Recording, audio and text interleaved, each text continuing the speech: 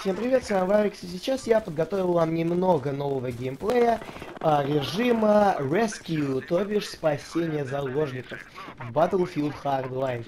Этот режим напоминает больше всего Counter-Strike Global Offensive, Counter-Strike 1.6 и Counter-Strike SUS, то бишь все игры серии Counter-Strike.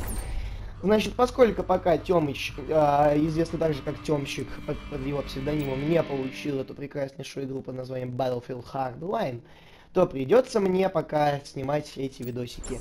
Также могут быть скоро, скоро может быть, появится видео рубрики Веселый Battlefield Hardline а, на канале Varex Channel и, и шестидневным ранним доступом для Humans.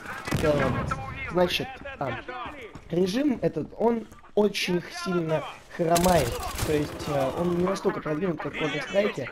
Потому что, ну, сами понимаете, Battlefield Hardline не практикует себя как киберспортивный шутер пока что. Конечно, следующие обновления и патчи внесут там какие-то поправки в эти все режимы.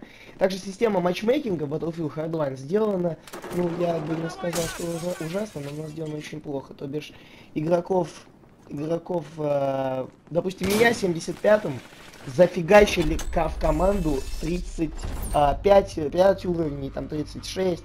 То есть там вообще там мало очень сильно люди играли. Мало люди играли и, конечно же, не набрались только опыта. И, конечно же, я не хочу хвастаться, но в этом раунде я, походу, затащил. Сами посмотрите до конца и увидите. Значит, а, режим, да, он, он довольно-таки все равно интересный, хоть и недоработанный. А, на нем все, вот на нем все фишки Хардвайна и раскрываются. Все эти э, газовые маски, которые, э, которые, которые позволяют тебе выжить во время того, как э, тебя кинули дымочек. Все вот эти вот глушители, которых э, не обязательно применять на этом режиме. А, то же самое ограбление или большой захват. А, то есть, по-настоящему здесь все хорошо.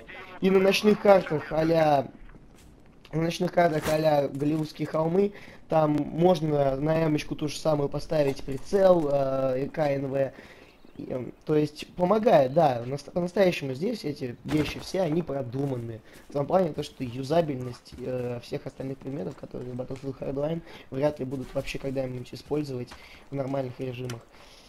А, здесь также крюки и канаты тоже находят себе применение. Сами понимаете, здесь это тактические режимы. Это не то, что захват и прочее. Схватки команд в Хардлане вообще ужасно, они желают.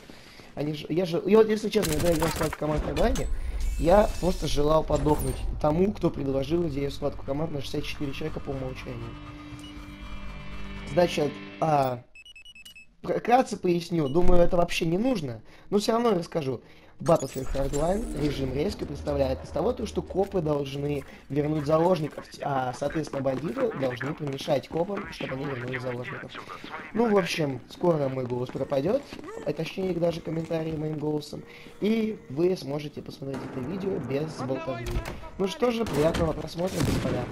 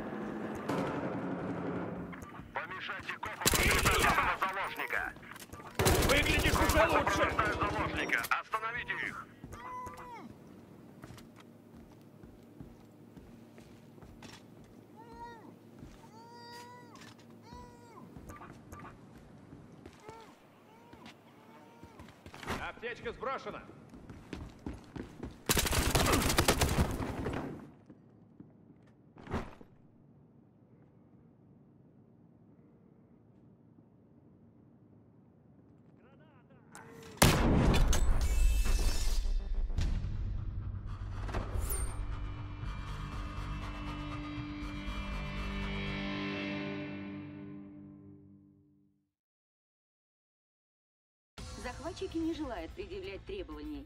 Кого удерживает в заложниках, пока неизвестно. Тем временем терпение полиции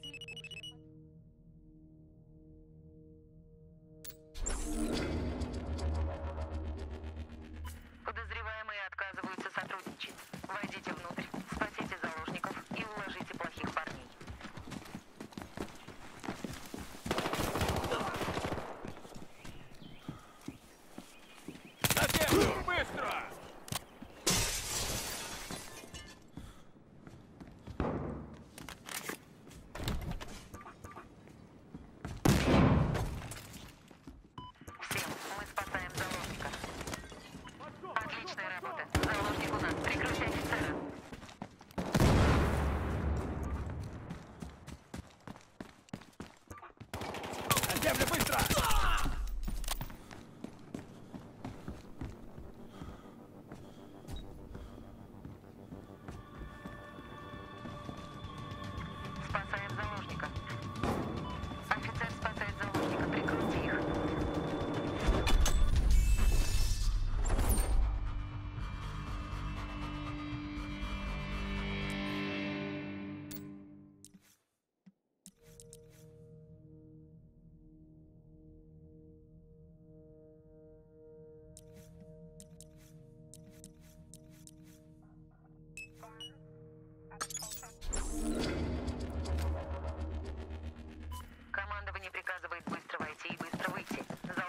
Рассчитывают только на вас.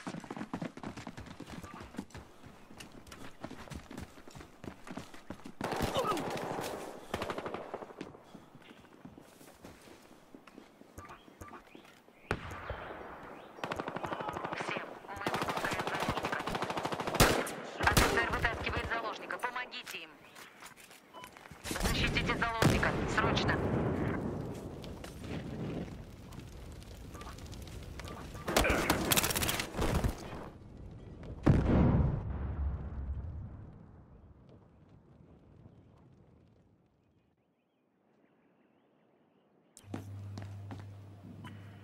Внимание! Офицер освобождает заложника. Требуется прикрытие. Код 1049. Офицер эвакуирует заложника. Еще один готов!